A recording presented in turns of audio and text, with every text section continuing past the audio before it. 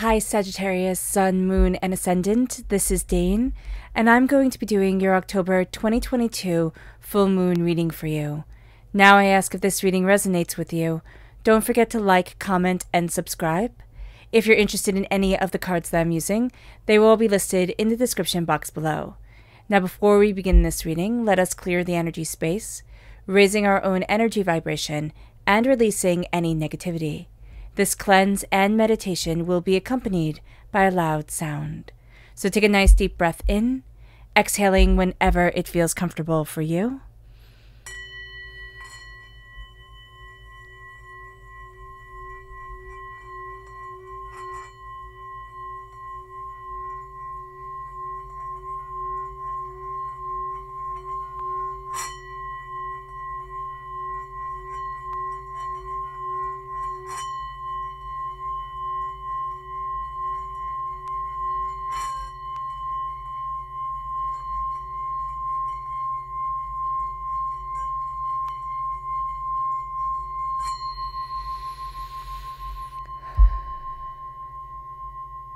Releasing all negativity from the body like storm clouds.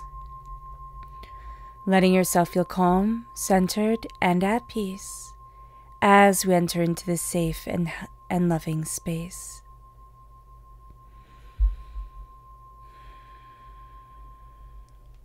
So let's see the energy that we have to be mindful of here, Sagittarius, during this Hunter's full moon in Aries on October 9th angels, and spirit guides show me clearly.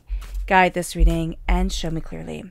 We have the Seven of Pentacles. So it's interesting because when I see this card, you know, it's about patience, and here he's gathering the holly, which is a sacred tree, but or a sacred vine, but it's growing off of the tree. And when I see vines like this, I just think that the ivy was considered stronger than the oak because it sucked the power from the oak and could fell an oak.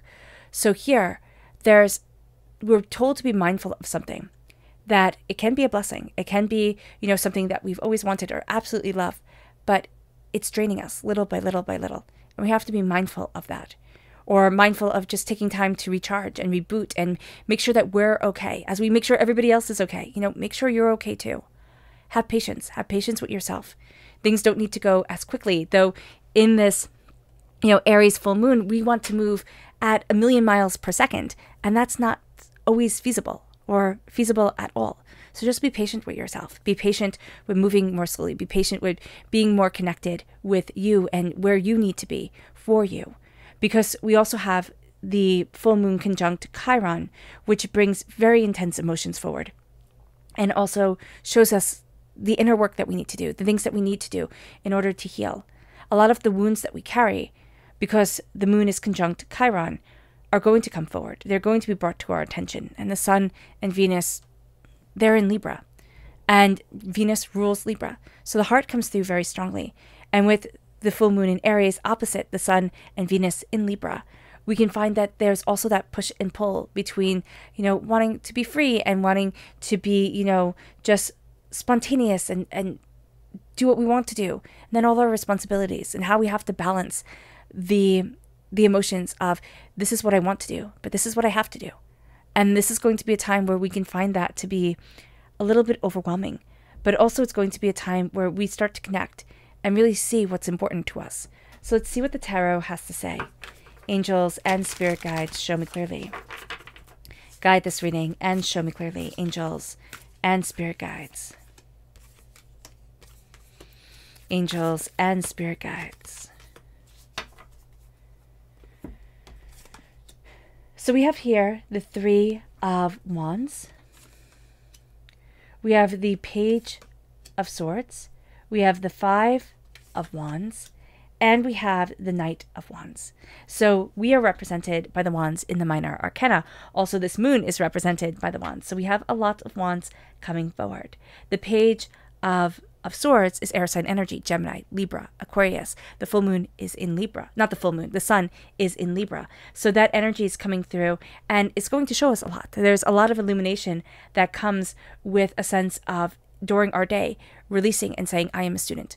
What do you have to teach me? I am a student. How am I going to learn? And there is there's a magic that's leading us. And that might sound, you know, a little bit funny, but there is a magic here that is leading us. There is a beauty here that if we quiet ourselves and embrace, you know, just embrace our own questions and Lord knows, you know, that Sagittarius has questions upon questions upon questions. So here, there's going to be a beauty that leads us forward. Okay. Now, with the three of wands, there there's new opportunities coming. This moon is going to illuminate something. We're going to want it to happen instantaneously. This is a slow build. This is a steady, you know, acceleration forward towards where we need to be for ourselves. But there's something that's opening to us. There's some way that's leading us forward that we're looking and we're like, huh, I didn't think of mixing these two things together. Or it can just be that we're like, well, why can't I try that? Or why can't I do that? Or why can't I, you know, experiment with this recipe? I'm, I'm, I'm just tasting something sweet on my tongue, which is very funny. Um, so there's something here. It can be about food, or it can be about going to a restaurant, or, or going to a place and and having something sweet, or yeah, it's it's just like it, it's just like it's almost like when you have honey on your lips and you lick it off, like like it's like a surprise. It's like oh wow, that tastes really yummy you know that type of thing coming forward. So so just be just be aware of this during this time that there's there's some sort of beauty that is that is opening itself up to you. And there's there's some sort of way forward that you're like yeah i can do that. Yeah that that sounds pretty cool. And it moves us to the page of lightning. And the page of lightning the page of swords is this energy of asking questions you know discovering pushing limits. And that's what we're going to see during the day. But there is this sense of if we ask we will receive our answers. So if we start our day with saying, you know, we could, you know, ask divinity, we can ask the earth, you know, whatever we're comfortable with, and saying, how do I lead my day forward? You know, what is it that I want? And we can just see how this day answers us. And each day is going to answer very, very differently. And that's going to be something really beautiful to explore for ourselves, Sagittarius. It's like, where do I need to be? And why do I need this? And, you know, what am I looking forward to in my life? And, and what do I desire? And we're going to find that even though we might think we know the answers, the things that come up during this time, they're going to show us different answers, powerful answers, different ways forward. And it's going to be like, yeah, you can do that. And it brings us to the Five of Wands. Now, the Five of Wands tells us that we can have a lot on our plate. And we need to be very mindful of falling into other people's pettiness because we can kind of take on their their sense of like I need to do this or this needs to be this way. And we can become drawn into other people's arguments and we just don't need that. So just be very mindful of this. There's also a sense here with the with the five of wands. We can feel during this time that we just need to clone ourselves. We just need to you know make it so that make it so that there's there's enough of us to go around. We can almost feel like pulled in too many different directions. So just be very aware of this just to calm ourselves and center ourselves and and see you know where does that we want to be? Because we're not going to be asking ourselves that question that much. It's going to be like okay well how can i move forward? And how can i obtain like the most out of this this time this effort? You know whatever it is. And and spirit's going to say here no see how you can move forward for you. And don't fall into other people's chaos other people's you know greed or or wants or or you know negativity. Because it will be very easy to. It will be very easy to during this time, Sagittarius. And so that's just like a big warning that's coming up. Do not fall into other people's negativity. Do not fall into other people's, you know, pettiness or, or squabbles or, or or hurts or angers or pains. That's for them to deal with. And if you need to be a support to them and say, I see you, you know, I understand you, I'm here for you, just know that that you you just don't need to be pulled down into it. And then we move to the Knight of Wands. And the Knight of Wands is is us. It is the energy of this moon. There's an energy here of moving forward. There's an energy of of conquering and success and determination and focus and insight. And so that's very much what we are going to be embracing during this time. This sense of yes, of course I can you know, do this. Of course I can move forward this way. Of course I am going after this. And there's there's such an assuredness to us that we might even doubt it at times. Like, okay, where is this confidence coming from? You know, why do I think I can, you know, achieve this when it, it's harder than, you know, I might think or than I have imagined. So just be aware of it here with the with the Knight of Wands, that this is us. There's a speed to us Okay. We need to very much temper that during this time. Whenever speed comes up with the full moon in Aries, we need to temper it because it's going to make us just feel like everything needed to be done yesterday. And that's going to make us feel unrest, but also almost disappointed in ourselves. Like, why couldn't I do this sooner? Why couldn't I do this better? Why did I get distracted? And it can bring a lot of negative self talk. So just be very aware of that. So let's see what the moon has to say for herself. Angels and spirit guides, show me clearly. Guide this reading and show me clearly, angels and spirit guides. I love it. The full moon eclipse comes through, and that's just going to be the power of the full moon. It says conclusions are within reach, but there's there's that sense of that shadow coming forward. There's a sense of a quiet needing to come over us. So let's see what else the moon has to say for herself. Angels and spirit guides, show me clearly. Guide this reading. Ooh, goodness. Okay. And then one bonus card. Cool. So we have nourishment, we have attraction, we have protection, and we have the path. So conclusions are within reach. As the doors are opening, as we're we're seeing where we want to go, as new opportunities come our way, we're looking at the conclusion of a cycle, but we're also looking at a path. It's almost like a path that we were born to walk forward in. There's something that we have wanted for a very, very long time.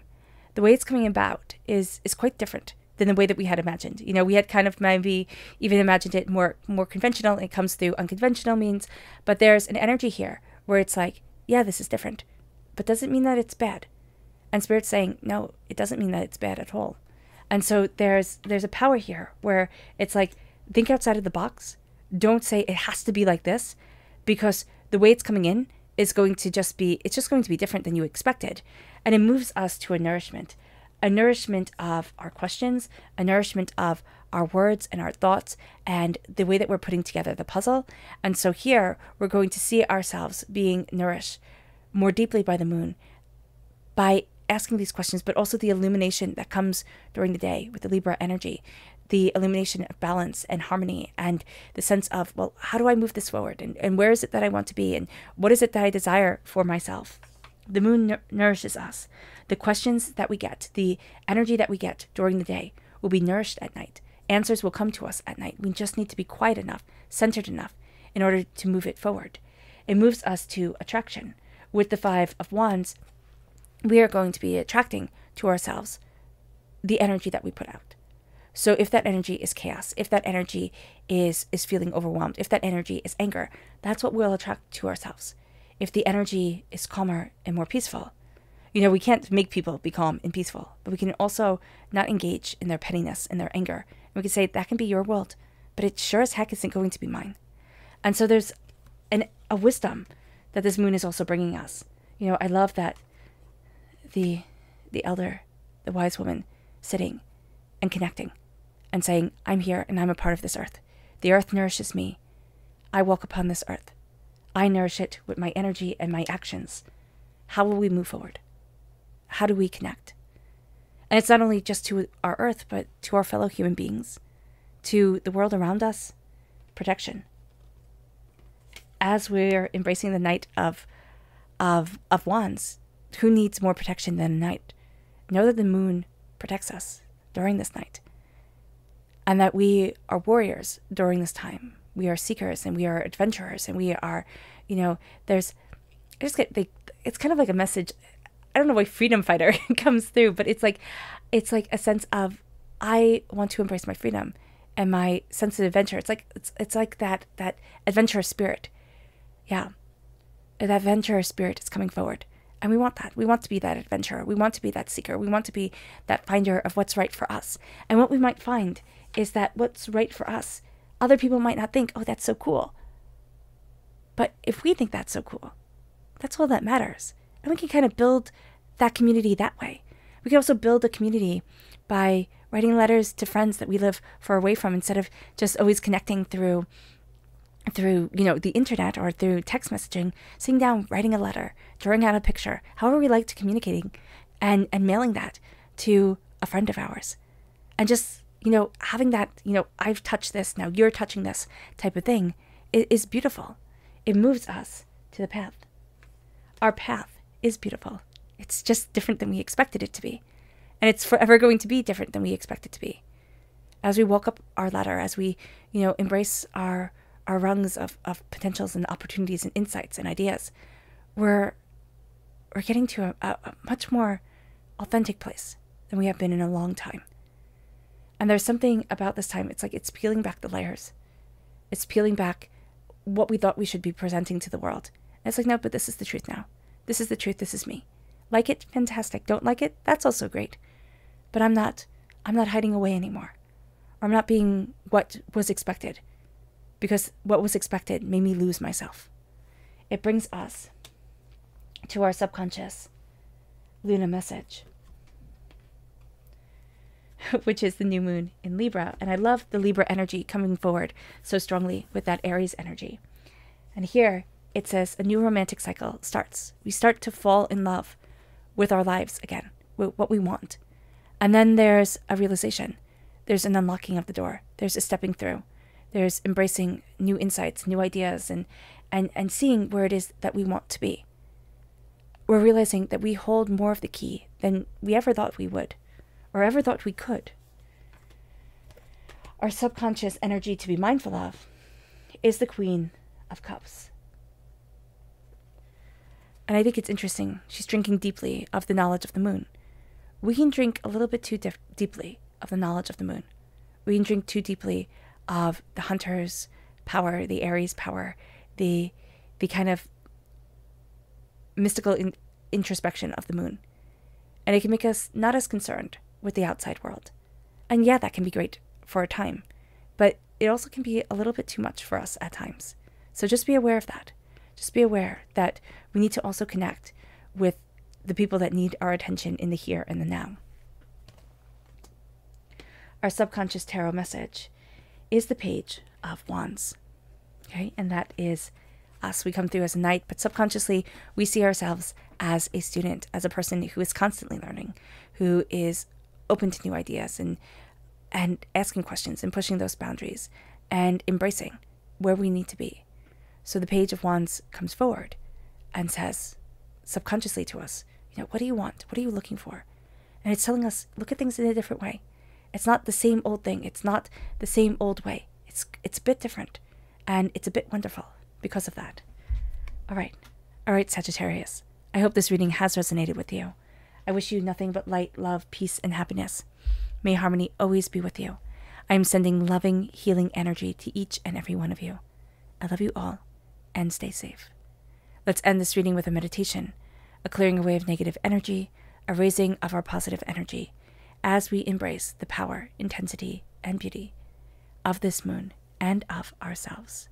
So take a nice deep breath in, exhaling whenever it feels comfortable for you.